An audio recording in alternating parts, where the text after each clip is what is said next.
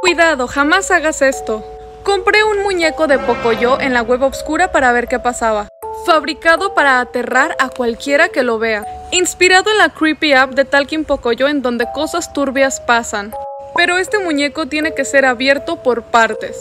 Así que hoy tocaba bajarle la extraña cremallera que tiene sobre su camisa. Tenía algo de miedo porque en la aplicación de Talking Pocoyo me pasó algo muy creepy. Pero primero tuve un problema, la cremallera no podía bajarse. Hasta que descubrí el oscuro secreto de Pocoyo, la cremallera oculta debajo de su camisa.